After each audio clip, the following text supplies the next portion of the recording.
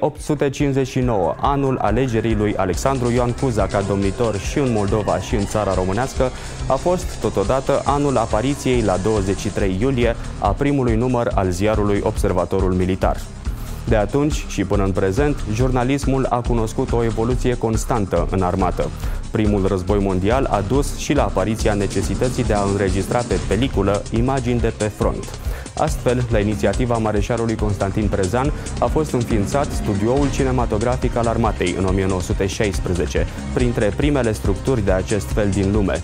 Redacția de radio Ora Armatei a apărut în 1940, poate cel mai greu an din istoria noastră, când teritorii ale României au fost confiscate de Germania nazistă și Uniunea Sovietică. Apoi, emisiunile militare de televiziune au început să fie difuzate în 1968 anul în care Moscova și blocul sovietic, cu excepția țării noastre, invadau Cehoslovacia. De la război la pace, de la dictatură la democrație, până la era dezinformării și a online-ului, presa militară este, la fel ca societatea în ansamblu, într-o continuă transformare. Avem nevoie de presa militară și uh, vă rog să aveți încredere că ne bazăm pe dumneavoastră ca să duceți mesajul uh, în uh, toate structurile Armatei României, mesajul că armata este și va rămâne mai bine, mai sănătoasă, mai instruită, așa cum ne-am propus noi prin misiunea pe care ne-a încredințat-o poporul român.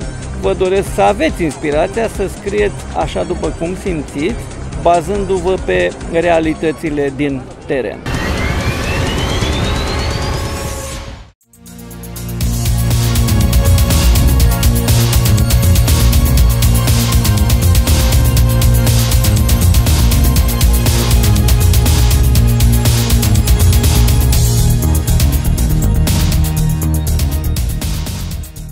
We have uh, just uh, concluded an historic NATO summit. Over the past two days, uh, we took major decisions uh, to adapt our alliance uh, for the future. We agreed uh, NATO's most detailed and robust defense plan since the Cold War. We strengthened our commitment to defense investment. We agreed to bring Ukraine closer to the alliance and step up support for the long haul and we deepened our uh, partnerships uh, around uh, the world. Pe timpul desfășurării summitului NATO de la Vilnius, detașamentul român Carpathian Vipers, dislocat în Lituania, a contribuit la asigurarea securității spațiului aerian al țărilor baltice prin executarea misiunii de poliție aeriană întărită, alături de aeronave de luptă ale mai multor țări aliate. În urma discuțiilor avute la acest summit au fost luate măsuri de descurajare și de întărire a apărării pe întreg flancul estic al alianței și implicit asupra României. Ne-am asigurat că există cadrul pentru creșterea grupurilor de luptă, inclusiv a celui din România, la nivel de brigadă, prin forțe de întărire, dacă situația o va impune. Totodată vom accelera procesele legate de prepoziționarea de echipamente. Trebuie să ne întărim și apărarea aeriană. De aceea am decis să constituim în România, alături de Olanda și de alți parteneri internaționali, un hub regional de antrenament pentru piloții români de F-16, dar acest hub va fi accesibil și pentru piloții aliați și pentru cei ucrainieni. Este un rol important pe care România și l-a asumat aici. Mai mult, la summit am anunțat și crearea alături de Bulgaria a unui comandament regional dedicat forțelor speciale, care este deschis aliaților și partenerilor noștri. Mesajul principal al acestei reuniuni este acela că NATO s-a modernizat pentru o nouă eră a apărării colective. Aceasta oferă României și cetățenilor săi cel mai înalt grad de securitate și apărare din întreaga istorie.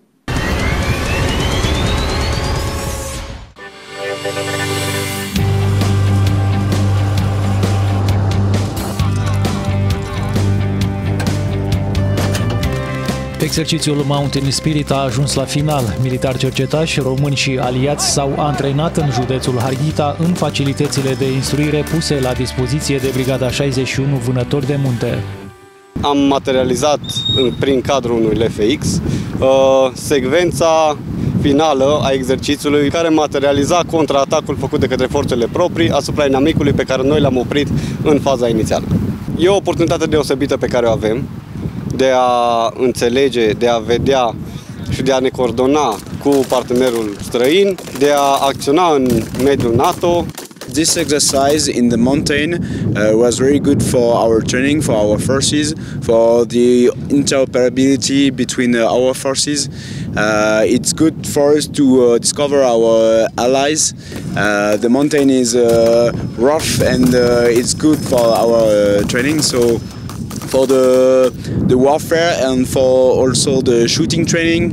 It was uh, um, it was good for us to see uh, your procedures and uh, maybe you to see ours, and uh, also to talk in English uh, with the radio for three nations which don't talk uh, English at the beginning.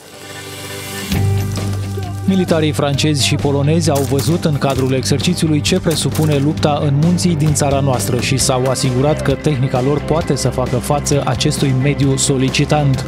Prin astfel de secvențe de instruire, aliații își îmbunătățesc procedurile și le adaptează, astfel încât în orice moment să fie gata de luptă.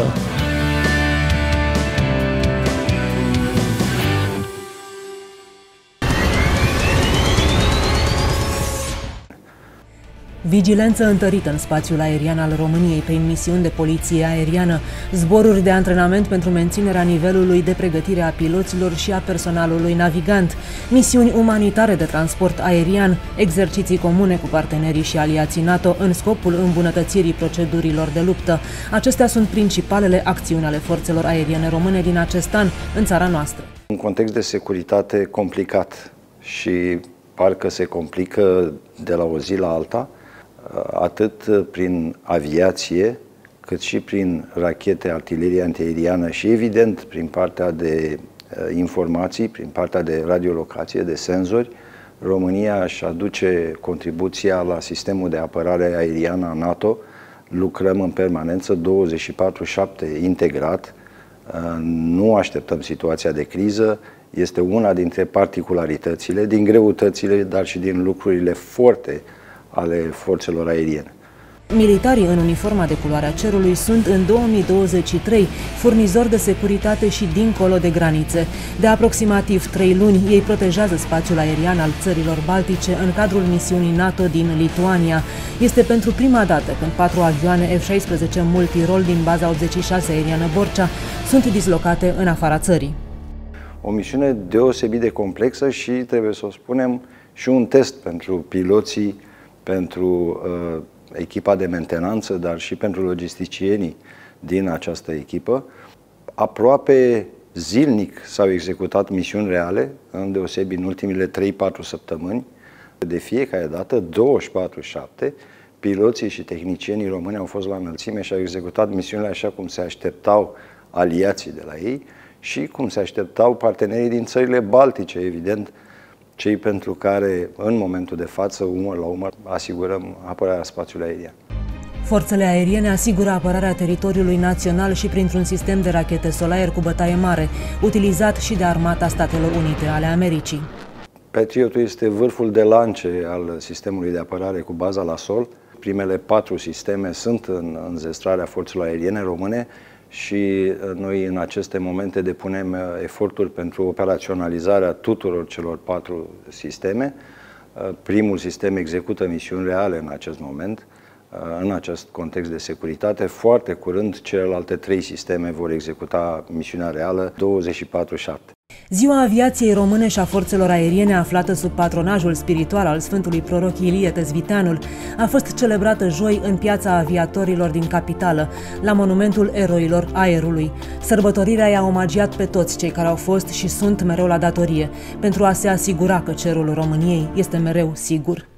La mulți ani, multă putere, 2023 va fi un an hotărător pentru forțele aeriene române, atât în ceea ce privește programele de înzestrare, plecând de la F-16, continuând cu tranziția către F-35, rachetele de tip Patriot, sistemele Veșorad, sisteme digitale de radare, totul se întâmplă la acest sfârșit de an 2023 și nu trebuie să uităm nicio clipă, să fim pregătiți în orice moment să folosim aceste sisteme pentru apărarea spațiului aerian.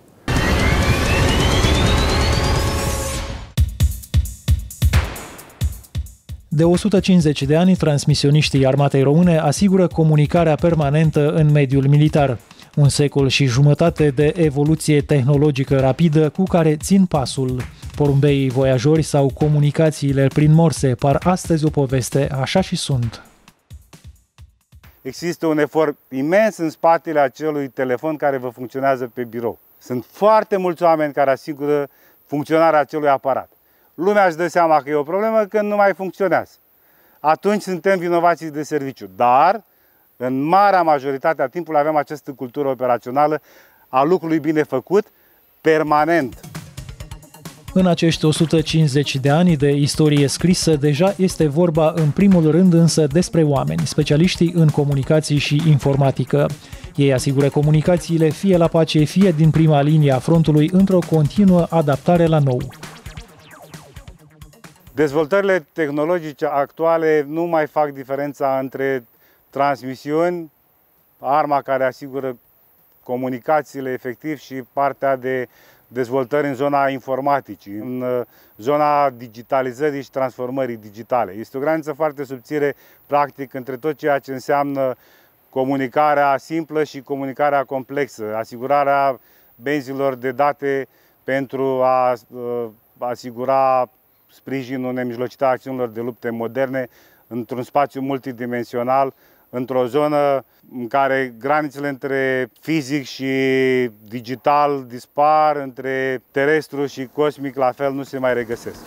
Delta, aici Alfa, cum auziți recepție? Pasiunea pentru acest domeniu rămâne definitorie în cazul specialiștilor în arma comunicației, tehnologia informației și apărare cibernetică, așa cum se numește astăzi.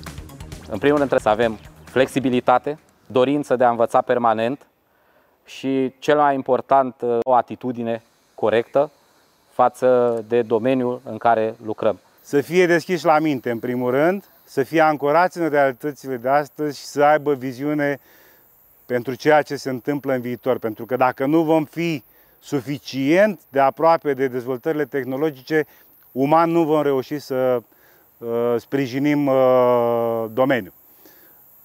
Le doresc multă sănătate, le doresc să fie întotdeauna primii și să aibă simțul datoriei îndeplinite după orice misiune. De 150 de ani mereu pe recepție și în permanentă colaborare, iar de ziua transmisioniștilor militari, sărbătorită la 14 iulie, împreună generații mai vechi și mai noi de specialiști militari în comunicații și informatică.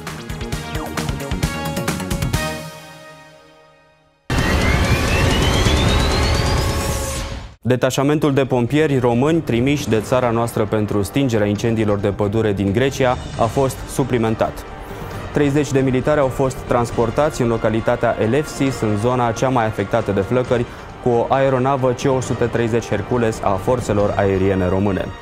Specialiștii Inspectoratului General pentru Situații de Urgență se află în misiune în Grecia în urma solicitării de sprijin transmisă de autoritățile elene prin mecanismul de protecție civilă al Uniunii Europene. Procedura permite coordonarea răspunsului la dezastrele naturale și provocate de om la nivelul Uniunii și asigură asistența coordonată și rapidă în sprijinul populațiilor afectate. Avem deja 40 de cadre care sunt la fața locului. Noi mergem să-i sprijinim pentru a gestiona în condiții de siguranță situațiile de urgență care s-au evit acolo. Prima misiune de acest gen sau nu? Prima misiune de acest gen, da. Mai sunt câțiva colegi care au mai avut câteva misiuni, dar uh, majoritatea nu au avut uh, nicio astfel de misiune internațională. Incendiile sunt de mare învergură, cu siguranță o să facem față, nu, nu se pune problema.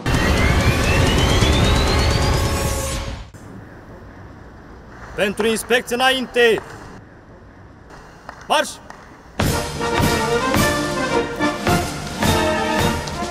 Militarii brigăzii 30 gardă trebuie să fie tot timpul pregătiți.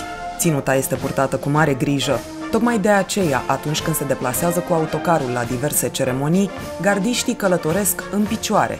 Nici o cută nu trebuie să apară pe uniformă. Și comenzile sunt exersate de nenumărate ori, astfel încât, la ceremonii, tot să fie ca unul. Facem antrenamente înainte de fiecare misiune în condițiile ședinței. Dacă știm că activitatea propriu-zisă are o loc la ora 12, la ora 12 ne antrenăm și noi încercăm să ne adaptăm condițiilor meteo și cred că am depășit de fiecare dată așa cum trebuie activitățile propriu-zise. Antrenamentele sunt dificile. Când suntem uh, la misiune, deja știm ceea ce trebuie să facem, suntem antrenați și totul se execută cum trebuie. Pentru mine este o onoare să mă aflu în această unitate. De mic copil mi-am dorit acest lucru. Emoțiile sunt uh, de asemenea mari, sunt constructive fac parte din uh, evoluția noastră în carieră, iar uh, pentru mine cel mai fericit moment este de a da onorul la cel mai înalt nivel. Siguranța afișată de militarii brigăzii vine din sute, poate mii de ore de repetiții. Și, dincolo de emoțiile inerente, toți poartă cu ei amintirea unor misiuni speciale. Prima misiune, mi-aduc aminte că a fost pe 24 ianuarie la Iași, lume multă, camere pe noi. Am avut emoții foarte mari, dar a reușit să trec peste și totul a ieșit cum a trebuit. Cea mai mare emoție a fost atunci când uh, am participat uh, împreună cu detașamentul Drill Team la o misiune internațională în uh, Statele Unite ale Americii. Și următoarea emoție care mă reprezintă pe mine ca și părinte, nu doar militar, este când m-a privit copilul meu în detașamentul Drill Team. Pe lângă participarea la ceremonii, militarii brigăzii sunt cei care asigură paza permanentă la monumentul ostașului necunoscut din Parcul Carol I, dar sunt prezenți în fața publicului și la alte evenimente speciale, precum a fost și festivalul Never See de la începutul lunii. Copiii sunt uh, foarte entuziasmați de acest tip de activități uh, și mm, le primesc cu brațele deschise uh, și foarte bucuroși să vadă drill-ul brigăzii în misiunile pe care le execută. Cu siguranță, specificul brigăzii 30 Gardă Mihai Vitazul este cu totul special. Mai mult, există și un element inedit. Noi, comandanții de plutoane din Garda de Onoare, suntem singuri din Armata României care purtăm sabie. E un sentiment de autenticitate, de apartenență la Brigada 30 Gardă și de faptul că purtăm o anumită responsabilitate, inclusiv prin mânuirile pe care le executăm și pe care trebuie să ni le formăm, să le îmbunătățim și să le sincronizăm cu cele pe care le execută militarii din pluton. Este un efort mare, dar atunci când te uiți și vezi ce ai reușit să faci cu munca ta, atunci contează foarte mult. Chiar dacă la antrenamente sau pe parcurs mai sunt momente dificile, e cald, stăm mult în onor, în momentul în care executăm misiunea și vedem că am ajuns la anumite performanțe, suntem încântați. Din pasiune pentru haina militară și pentru România au devenit rezerviști voluntari din dragoste pentru sport și camaraderie, au participat la competiții internaționale dedicate lor. Au revenit acasă motivați și împliniți. Pentru noi, rezerviștii, important a fost să participăm, să devenim vizibili, să arătăm că se poate, că poate fi frumos ca rezervist voluntar, că ai oportunități. Ne-am întors cu, împreună cu colegii mei din Finlanda, de la Military Competition, MILCOMP, este o competiție aplicativ-militară, gen pentatlon, deschisă țărilor membre NATO și partenere NATO. Anul acesta au fost cam 15 țări. Încercăm să arătăm celor care sunt posibil interesați că sunt și părți frumoase, poate fi și fan, nu sunt doar uh, obligații din acelea strict militărești. Pasiunea mea a devenit uh, carieră și s-a fructificat printr-un trofeu uh, deosebit la un concurs de tir militar. Am fost la 49 ediție a concursului de tir militar uh, organizat de Landeskommando Baden-Württemberg în Bruxelles, un poligon foarte bine utilat, cu niște arme nemaipomenit de bine eh, reglate, fiabile și cu o organizare germană, impecabilă, unde am participat mulți sute de trăgători din rezervă și din eh, forțele active din 12 țări. Am obținut eh, o decorație de trăgători de elită, se numește șnurul de aur, pe care o pot purta ca militar român la diverse evenimente conform legii.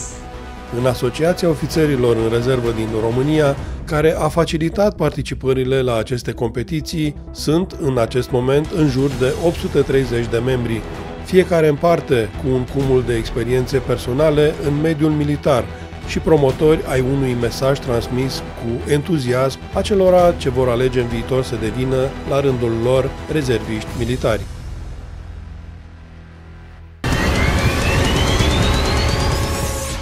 Atenție! Vă pregătiți? Începeți! Ținu așa, bravo! One, two! Bravo, hai sus, sus! Hai, hai! Doi!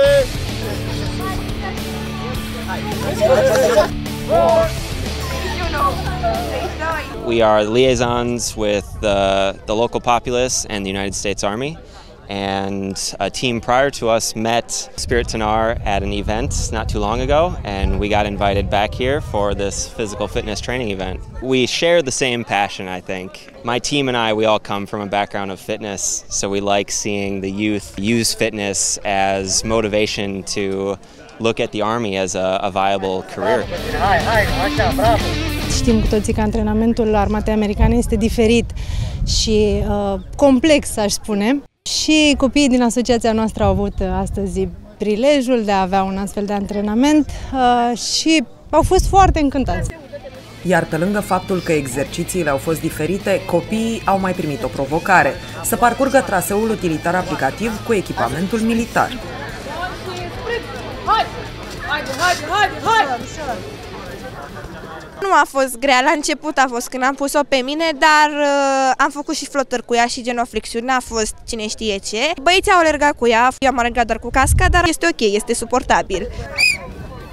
Antrenamentul a făcut parte din evenimentul Împreună susținem spiritul tânăr, prin care asociația vrea să îndrume cât mai mulți tineri care aleg cariera militară, și nu doar pe ei.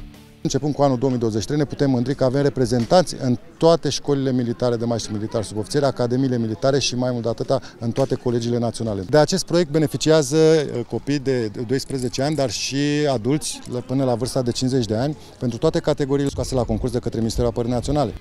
Numai în acest an, peste 50 de copii care s-au pregătit în cadrul asociației au fost admiși la cele 5 colegii naționale militare. Dorință, ambiție, seriozitate! Am venit astăzi aici pentru a o susține pe sora mea, Anastasia, cadetă în clasa 7 în cadrul Asociației Spirit Tânăr și pentru a susține în continuare eforturile pe care le-a făcut asociația pentru mine. Drumul ales de fratele meu mi s-a părut unul interesant. Îmi place viața antrenantă, să fie totul foarte intens și să am viața plină de surprize. Este copleșitor ceea ce au reușit să facă în primul rând cei doi, Cătălin și Camelia Pârvu. Fac un lucru minunat care vine în sprijinul tinerilor și o fac gratuit. Trebuie să-i încurajăm, să-i sprijinim și sistemul acesta de pregătire să-l dezvoltăm și în alte locuri. Noi, Asociația Ofițerilor Rezervă din România, vrem ca în sucursalele județene să generalizăm un asemenea centru. Un lucru este cert, toți candidații care vin aici fac antrenamentele cu zâmbetul pe buze, pentru că, indiferent de vârsta pe care o au, ei sunt...